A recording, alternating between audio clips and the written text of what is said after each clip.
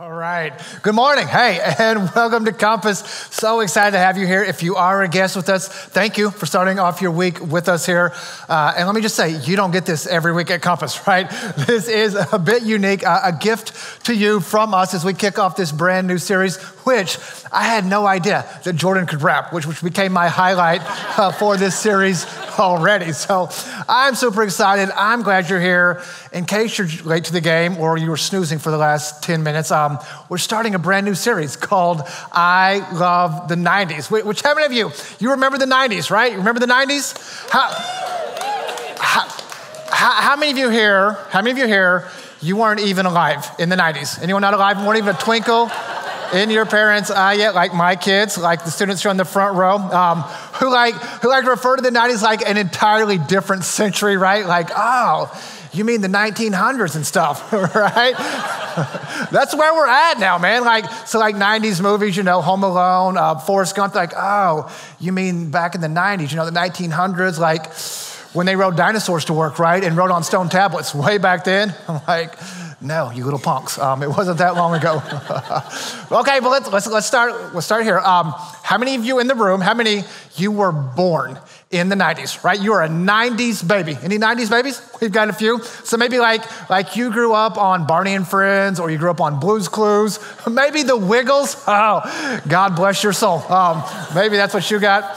How many of you in the room, you were in high school or you were in the middle school in the 90s? Those were your glory days back in school, right? Um, maybe the hammer pants, maybe you had them, ripped jeans, Doc Martens, right? Uh, Air Jordans, maybe you're still wearing Air Jordans.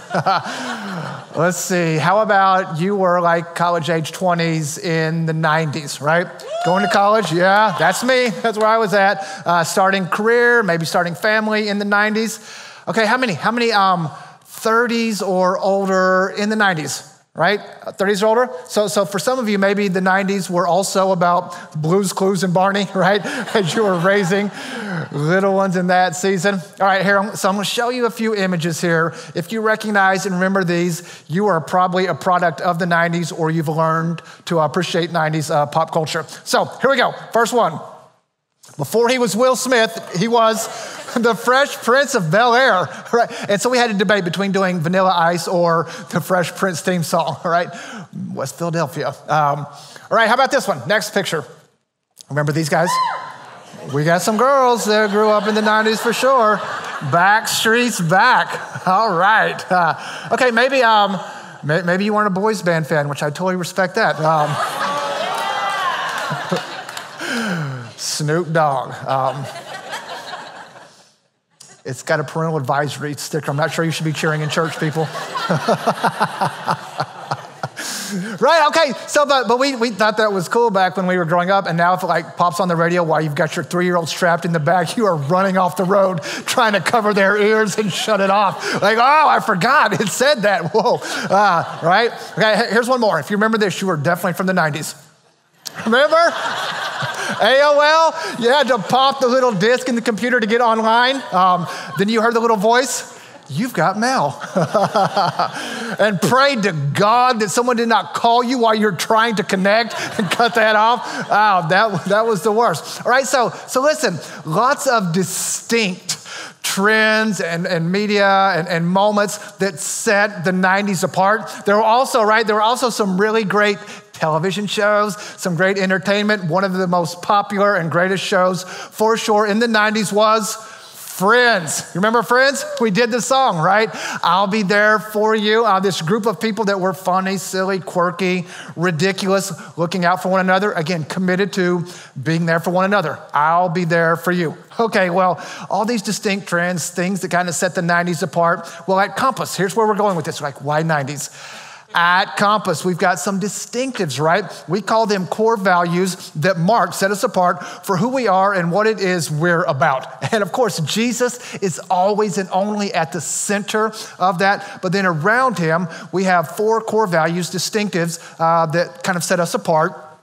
The one that you're, you should be familiar with if you've spent much time here with us at all, because we say it every week, is navigating people to God, right? We want to help people meet Jesus. Uh, we want to be there, right? I'll be there for those people that need Christ most. And, and I would say this so, navigating people to God, Here's what I would say for those of us that, that would say uh, that you're a believer it's a spiritual, listen, spiritual impossibility to call ourselves that are followers of Christ to say that and not care about the things and the people that Jesus cared about. And, and one of the things Jesus cared about most, absolutely, was reaching people far from God. Okay? Uh, Matthew, Matthew was a guy that was one of Jesus' close followers. He was one of his 12. Also, Matthew was a friend of sinners. He, he hung out with some really shady people, spent some of his life being mentored by Jesus as one of his disciples. And, and Matthew uh, wrote one of the letters we have in our Bible about the life of Jesus. Here's what Matthew records Matthew chapter 9. He tells us this when he, and he's writing about Jesus, so when Jesus saw the crowds, right, he sees the masses of people, he had, what's the word? Compassion. So he has compassion on them. Why? Because they're confused and they're helpless like a sheep without a shepherd. So, not seeing them as a threat or a frustration, but, but confused and deceived and lost. Verse 37 he said to his disciples, The harvest, right? He's looking at the crowds. This is the harvest. The harvest is great, but the workers are few. So pray to the Lord who is in charge of that harvest and ask him to send more workers into the fields. Then we also read this in, in Luke 19. It tells us there, for the Son of Man, for Jesus, came to seek and to save those who are lost. So, so that's his mission, right? To rescue those and save those who are lost. So, a couple of things here that, that I want us to see First is this here's what I want you to hear, and here's why we're going to talk about this and why I love this theme as much as anything. We care because Jesus cared. Right, here's why we're talking about it. We care about this because Jesus cares. Uh, Matthew tells us that he had compassion on them. Uh, we read elsewhere where, where there's this moment that, that right before Jesus comes into Jerusalem for the final week of his life, he's sitting outside of the city on a hill overlooking the city, and he says how he, he longs, man, how he desires to draw all these people to himself like a hen gathers her chicks, right? That's what he wants to do. And then he's going to die die a few days later on a cross because he's so desperate to see people saved. And, and our hearts, for you and I, our hearts have to break for the things that break the heart of God. And first, I, I hope this fires you up and excites you, right? Jesus had compassion. I had compassion. Yes, we're on the same page. Let's go and be compassionate towards people that need him. But, but at the very least, I, I hope this moves you right? Jesus cared about this. It was a big deal. He articulated it over and over. So I care about this as well. And, and, you understand this, right? You understand this with family, with friends, with your kids. So, so I'm like the worst artist in the history of stick figures by far, right? Like, I, I, I, can't draw, man. Like, I have zero artistic ability. I wish I had some. I don't. My kids and their friends, they love to play telestrations. Have you ever done telestrations? So, so the idea, if you've not done it, is you get in a circle and you have to draw. Whatever image you get given on a card or makeup, you draw that image on the pad and then you hand it to the person sitting next to you. And that person sitting next to you has to guess and write down what it is they think that you drew.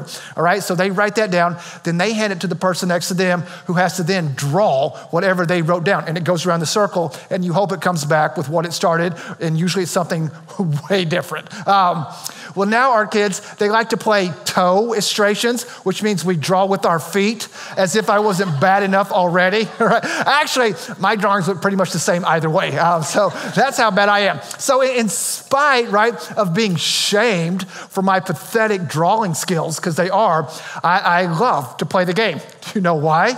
Because I love my kids, right? And they love to do the game. I'll give you another example. So my wife, she likes to have fun and like do dress up costume parties, Halloween time. And one year, so we did a costume party with some of our community group, right? And in that season, um, she had us dress up like flamenco dancers, right? Like something from Dancing with the Stars. This is how much I love you. I'm going to shame myself just for your humor. Do I want to dress up like a flamenco dancer? look like I raided the closet of a Disney princess? No, no, I do not at all. Do I love my wife? Yeah. Did it matter to her? It did. All right. So I'm in, man. I'm all in for humiliation and all because here's the point we care, right? You have to care about the things that Christ cares about. And it tells us he had compassion on them. They're confused, they're helpless, they're homeless. He has a heart for those. And we're called to do it as well. And then we read what? Matthew tells us the harvest is great, right? For those of you that have been around a while, um, I think of Tony the Tiger, right in the Kellogg's thing. It's just great. Not, not like your little garden in the backyard, right, where you got a couple vegetables and a fruit tree. it, it is massive, man. And, and who who's, is the, who's the harvest? It's God's, right? God tells us He prepares the harvest, He owns it. But then who, who does He send out to go and bring it in? That's you and me, right? He calls us to do that. Here's again what we read uh, back in the verses there where it tells us Jesus said, Pray he, commands us, even, right? That's a calling. Pray to the Lord who's in charge of the harvest to send what? More. That's what we're doing today, to send more workers into the field. So that's what I'm praying. I'm praying that for you. I'm praying that for me because that's what Jesus said to do. Which, if Jesus tells you you should pray for something, you're always like, I don't know what to pray for. Right here, he told you what to pray for. You should pray for that, right? And then pursue it. So we're committed to reaching people that, that need Christ the most, which would be everyone that doesn't know him. Because we, we want our friends to become his friends. So, one of our core values, right? One of the ones you hear often is navigating people to God. And then sometimes we use this phrase, and it's a simple little phrase, but I hope it sticks because it's easy to remember. Uh, then this found people, find people, right? That simple. Found people, find people. I'll show you why and where we take that from here in just a moment. But, but here's what we believe if God has awakened you to the beauty and to the hope and the power and the good news of the gospel, the good news of the hope that we have, well, then you should automatically just want to go and share that and, and live that out and be that for somebody else. So, so this is why under found people, find people, we believe this that we reach out, that you and I, we would reach out relentlessly uh, we want people to meet Jesus and we want them to get baptized. Had some baptisms this morning. We're gonna have some more after this service. We would love for you to get baptized if you've never been, for people to, to then walk in new wisdom and to walk in new life with Christ. Because again, we are aware the harvest, right? I know it is plentiful. And, and I, we don't see, so the landscape and culture is shifting for sure. We don't see that as a threat, right? I see that as an opportunity. And you're like, well, people are really mean. Okay, because they, they don't know Jesus, right? And God, we believe, intends to love and save them and use the church, you and I, to get that done. Which also means this some things I, I really want us to pay attention to, that I really want you to know if Compass is your home or you're considering that, that there are times, right? There are some times that we will definitely give up our preferences, right? So, so on some things, maybe a style or way of doing church that you grew up with, that I grew up with, that feels like a nice warm blanket, right? Maybe a method uh, that we're willing to, to change so that we would at times let go of our preferences for our potential in the future of those that need Jesus. And we're committed to that. So I want you to be aware. I was thinking about that, and I was thinking about this. So, so several years ago, when I was starting off in, in full time ministry, early on, we had moved to this little church, in, not little church, pretty big church in St. Louis to do college and young adult ministry, to work with 18 uh, year olds to 20 something year olds. And we began a service on Sunday nights, specifically targeting uh, that demographic and that age group. And so early on in starting that service, I'm, just, I'm teaching through the book of First Timothy, right? Great little letter by Paul teaching through it. And, and we're in chapter two, right? On this particular night, we're in chapter two, which does deal with women's dress in the church, right? So I'm going to talk about that. And just so you know, we're not hyper fundamental here at all. We don't expect you to like dress up like an Eskimo when it's 100 degrees out so you show no skin. Um, we're all for, you know, being stylish and cute, whatever that means for you, right? I don't know because I'm not stylish at all or cute, but whatever that means for you, yes, okay, we're good. But Paul does talk about being modest, right? So, so for modesty, okay, so, so I'm, I'm teaching this topic and I'm explaining how a lot of women's underwear and outerwear do not seem to be on the same page anymore, right? Like, like somewhere they have gotten confused, right? Like, like now all of a sudden women's underwear has become outerwear. Victoria's Secret is not a secret to anyone anymore, right? So, so we're just like, I'm just talking about that. Um, so I'm about to talk about women's underwear from the stage, completely in context, people. It is helpful, I'm hoping. Um, and, and, then I look down, and our little old lead pastor, who's like 80, right? And he's not been to a service, but he's sitting right here to my right, on your left, right on the front row. Um, I didn't expect that, just so you know, as I was putting together the message. Uh, he hadn't been there previously. Didn't expect him to show up, but, but I prayed through this. I was committed. I felt like it was being faithful. So I decided, okay, we're just going to preach it. Um, here we go. And then I, I texted my wife. And I'm like, hey, you might want to put the house up for sale because I might get fired tomorrow. Um, so then I did. So I got up and I preached the message, got done, came around front from backstage afterwards, and, and Ben, right, because that was his name, little old 80 year old Ben, uh, he was already gone. He hadn't stuck around to hang out and talk and visit.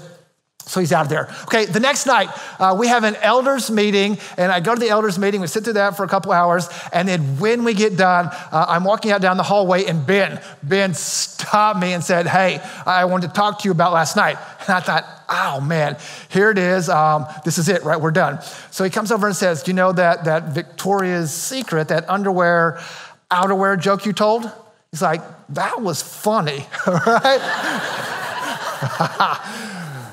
He's like, I would never say that, right? He's from a whole different era, different period. But he's like, that was great, way to go, keep it up. So then I, like, I had to text my wife, don't sell the house, right? Um, ben said it was funny, right? He's like, it was a good one. So yes. And here's, here's what I thought. Here's what I love. Uh, at, at 80, Ben still had such a heart for reaching new and more and lost people that he was willing to give up his preference or what was familiar or comfortable for, again, our potential and our future. And that just, that just stuck with me, man man. Um, it has shaped so much of my leadership and, our vision and our culture here as well. So we, we reach out, man, relentlessly because the harvest is plentiful. And then this idea found people, find people. Let me show you where we take this idea and what we're talking about.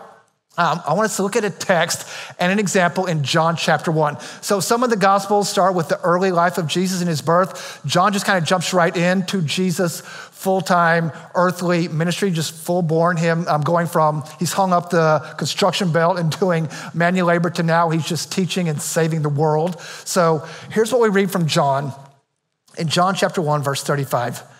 He records this. The following day, John, and here he's talking about John the Baptist, Jesus' cousin. The following day, John was again standing with two of his disciples.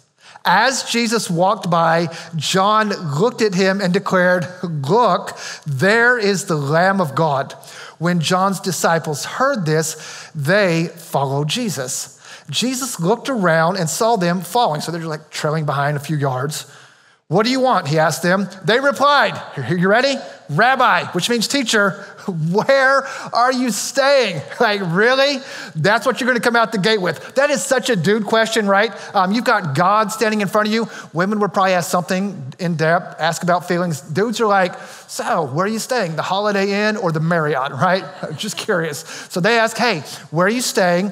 Here's how Jesus responds, verse 39. What's he tell them? Come and see, he said. It was about four o'clock in the afternoon when they went with him to the place where he was staying. And they, remind, uh, sorry, and they remained with him the rest of the day. Andrew, which is Simon Peter's brother, was one of these men who heard what John said and then followed Jesus. Andrew went to, what's the word there? Find. He went to find his brother Simon and told him, We have found the Messiah, which means the Christ. Verse 42 Then Andrew brought Simon to meet Jesus. Goes on in verse 43. The next day, Jesus decided to go to Galilee. He found Philip and said to him, Come follow me. Philip was from Bethsaida, Andrew and Peter's hometown. Philip went to look for Nathanael. The NIV says he went to find Nathanael. And he told him, We have found the very person Moses and the prophets wrote about. His name is Jesus, the son of Joseph from Nazareth. And we'll see here in a minute, Nathaniel is a total skeptic. I'll show you why in a second. He's got questions, which Jesus is cool with, right? Doesn't beat him up for having doubts or having questions, which is a whole nother message. But here's what we get John 1. Okay, Jesus, again, he's launching full born into his earthly ministry. He grabs this guy named Andrew, right? He's like, hey, Andrew, come and follow me, right? Come and see what it is that I'm doing. Which I think this, I think that is a fantastic, it is a great strategy. One, because I'm not the best evangelist, right? Just so you know, as much as I, I love lost and messy people, I'm not a great evangelist. Maybe you are, maybe that's a skill set you've got, but I'm not good with that. I, I like talking to people one on one, getting to know them, building relationship. Uh, I do, I do have such a heart for the lost, but listen, I'm not good with the cold call, right? Like maybe you like that. I struggle with cold calls. Like when I'm on an airplane, I, I tend to want to read or sleep, right? Usually not tell the person stuck sitting next to me why they're a sinner and why they need a savior, right? That's just not where I initially tend to go. And just so you know, a lot of times, sometimes, people will straight up ignore you when they find out you're a pastor or a preacher. they will. So, so like, it's like there, there's times when, when I used to would catch a flight back into Vegas whenever our family lived there. We ministered in Vegas for several years, if you're new. So I would catch these flights uh, back home to Las Vegas in that season. And, and news flash, the majority of people on a flight to Las Vegas are not going there with the goal in mind of meeting Jesus and acting like him, right?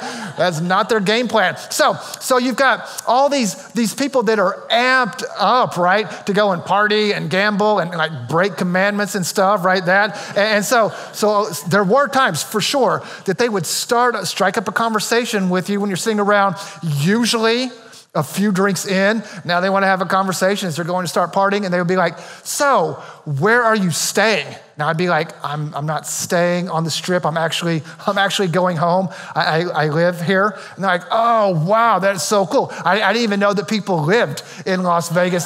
That's awesome. Uh, do you work on the strip with hot chicks? I'm like, ah, no, not, not, exactly. And they're like, oh, really? Well, cool. So, so what do you do? And I'm like, ah, I'm a pastor, right? I, um, I tell hot chicks about Jesus.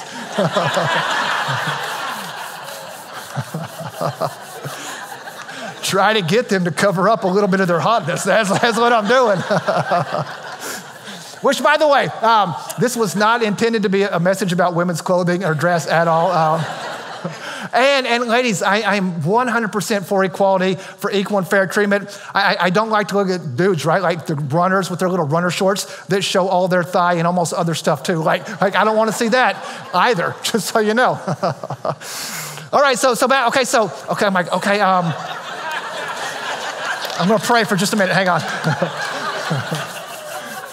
On the plane, questions going on. Okay, so I'm a pastor, and literally they'd be like, uh, "Excuse me, I, I, need to answer my phone." And I'm like, "Did you just pretend to answer your phone?"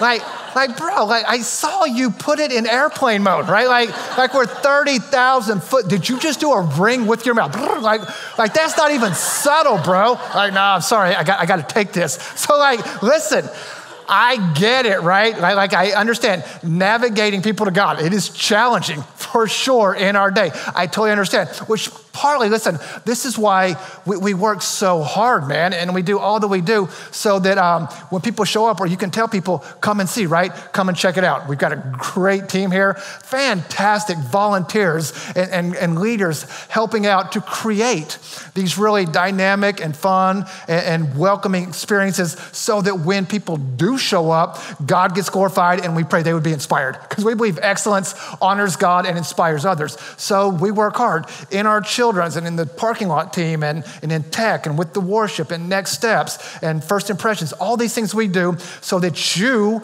could, I hope, find it easy and be excited to tell people, hey, just come and see, man, right? Come and check it out, which is what Jesus does, right? He says, hey, just come and check this out, come hang with me. And then Andrew, right? Andrew goes and he grabs his brother Peter, right? Simon Peter. Uh, and it tells us he went and he found him and he said, Hey, you have got to come and see this guy. And then look at what Andrew did after he found Peter.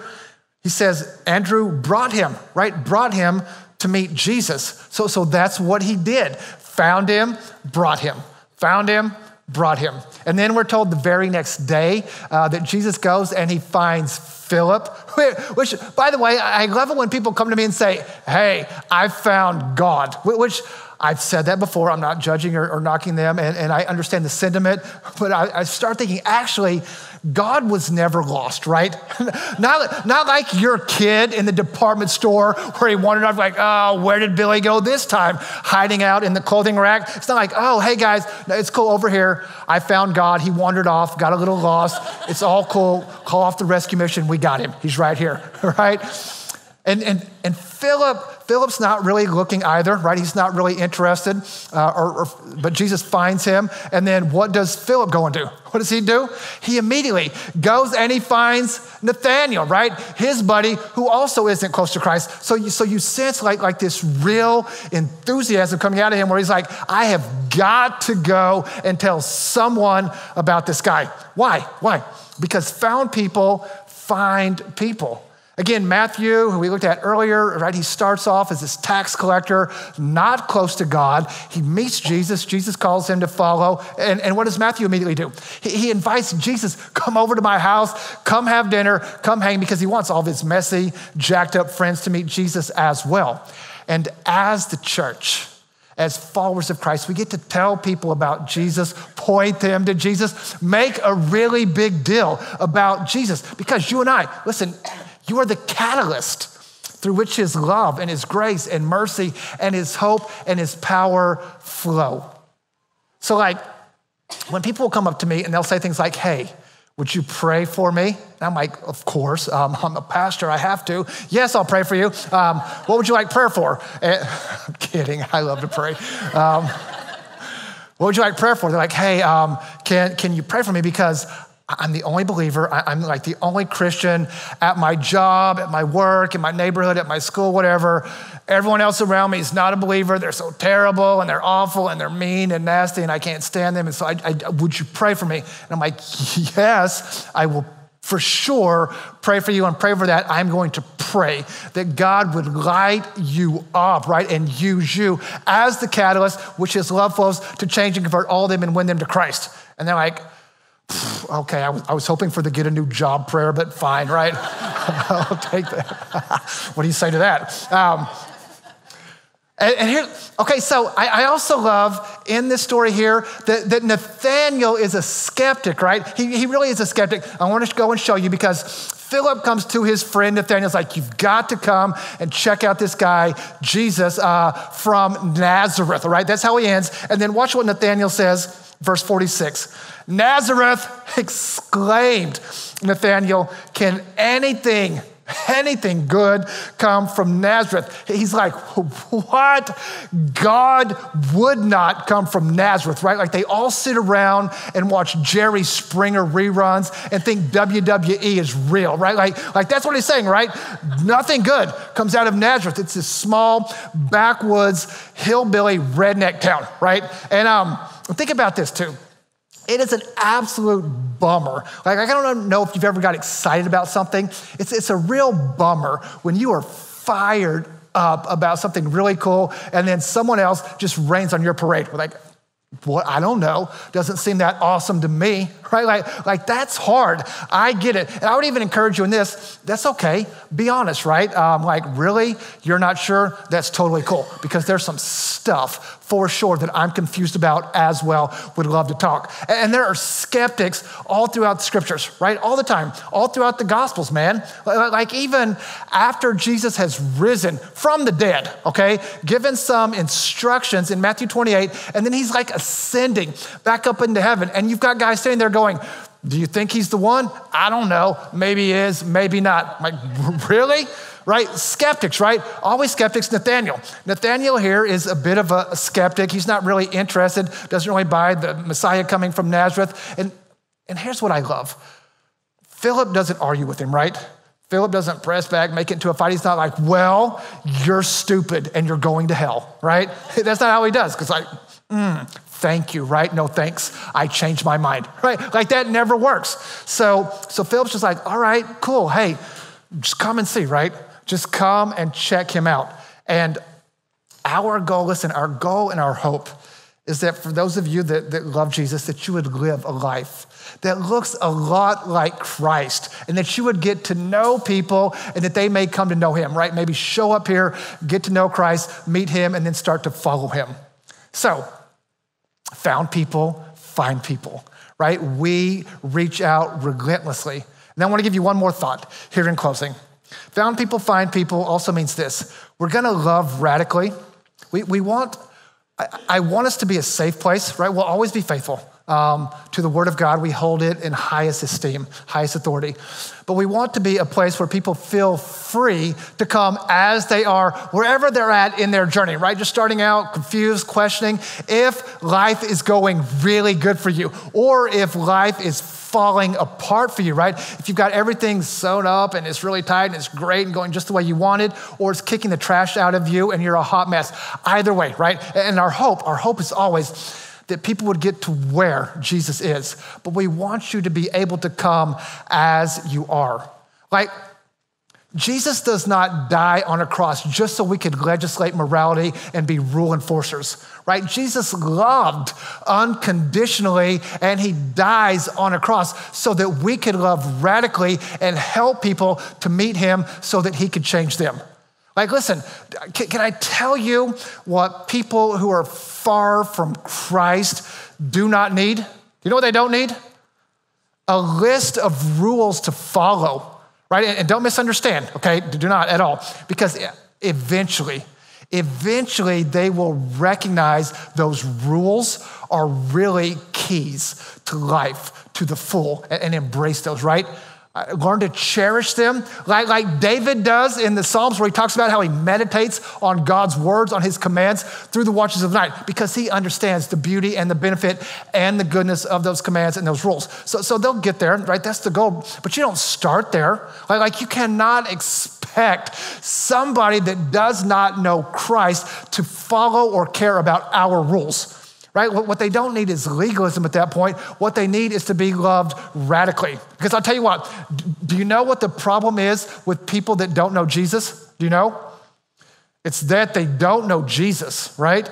And, and our goal is always that they would meet him so that he could change them. And our goal is that we would be the kind of church that is passionate about loving people the way Jesus loved people. And again, I know, I'm aware the landscape is changing, right? Quickly, that it's becoming a culture that's increasingly hostile or skeptical or just indifferent. Okay, again, you can see that as a threat or as an opportunity, right?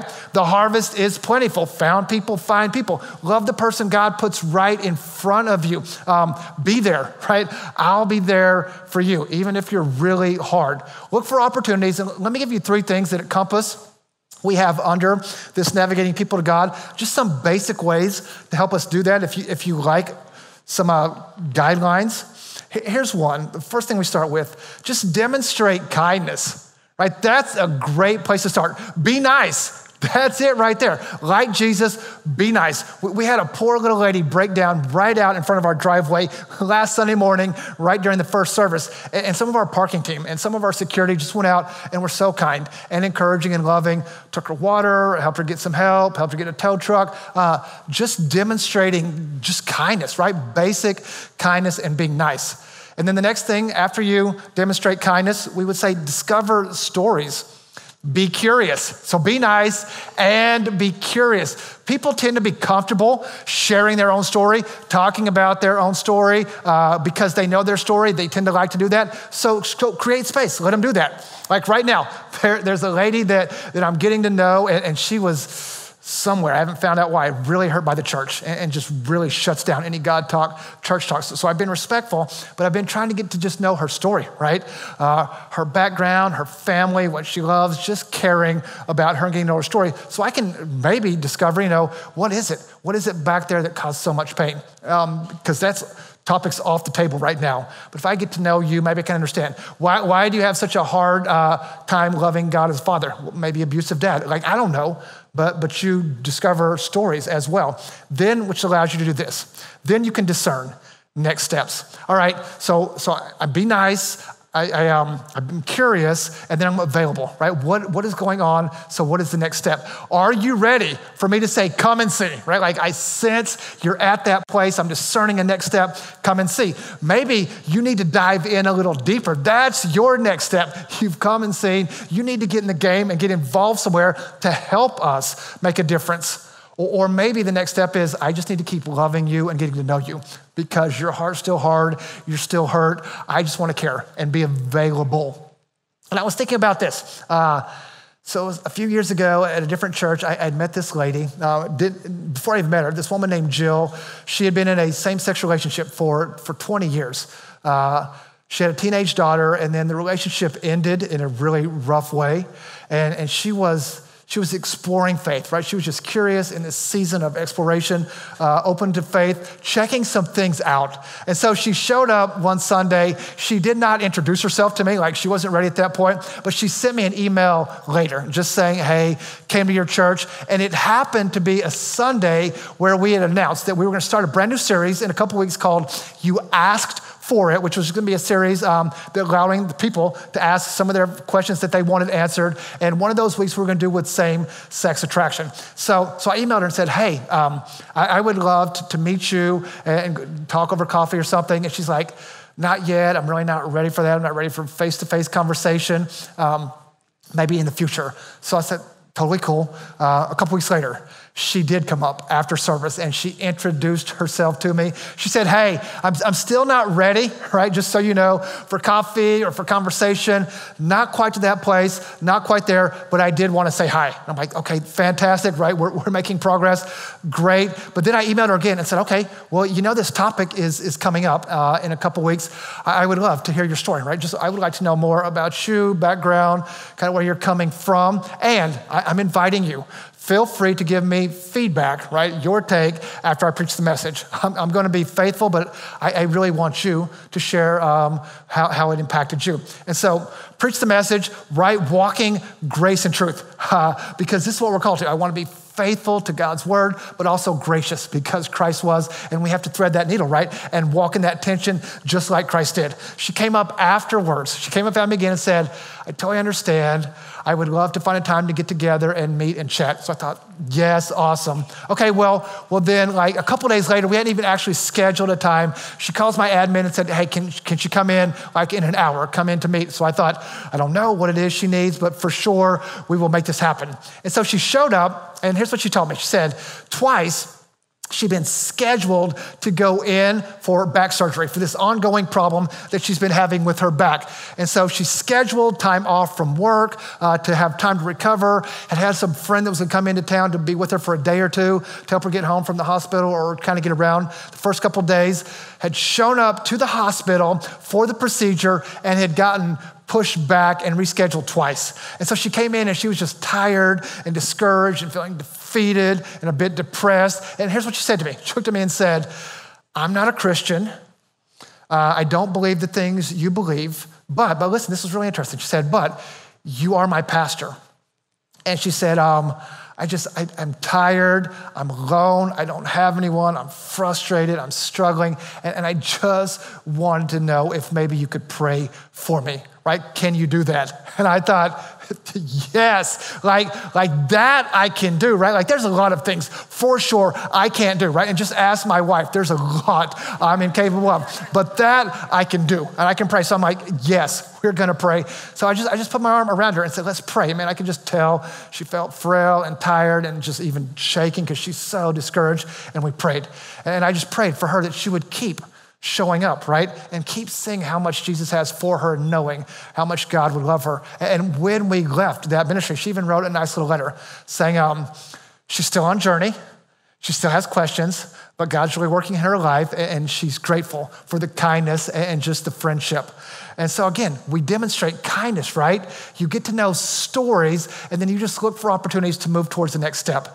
And, I hope, right? Like, here's my hope that you really want to be that kind of church. Listen, I do. I absolutely want us to be that. Uh, whenever people ask, you know, what is it that Compass is all about? I hope the first thing that people in the community think and that you would say is Jesus, right above everything, Jesus, and then reaching those people that need Him most in loving and radical ways. because that's the kind of church and people Christ calls us to be. And what they need again is it's not legalism, they need loved. So, so think about this, right? Um, where in the Bible, where does Jesus ever, ever, ever show up and things get more boring? Right? Like that doesn't happen, right? Jesus shows up and he feeds thousands okay? That's cool. Jesus shows up and he turns water into wine, right? Jesus shows up and he opens the eyes of the blind. Jesus shows up and he walks on water. Like, that's a cool party trick, right? Uh, Jesus shows up and he ends every single funeral that, that he ever went to. Life with Jesus is exciting and fascinating, and it's life changing. It is intentional and it's a celebration. And you and I are called to go and do that and be that for others, right? Because the harvest is plentiful and the found people go and find people. And like Philip, they say, hey, just come and see, man, right? Just come and check this out. And so that those, those around you, right? Those in your neighborhood, those that are close to you but far from God, might meet Jesus and he might change them. Let's pray. Heavenly Father, we thank you that you're such a good God and that you call us, man, to be on mission with you, that your compassion is great and it is far reaching, and it is unstoppable, and it, it came to us, and now you, through us, reach others. And I pray we would embrace that mission, that even in a changing culture, we see that Satan's taking captives and we're called to go help set them free and that that would compel us and that we would be urgent for that. And I pray for those in the room that don't know you, that they would know they're, they're loved. And this is a safe place to come and ask questions and be on journey and that we want them to meet Christ who is desperately in love with them.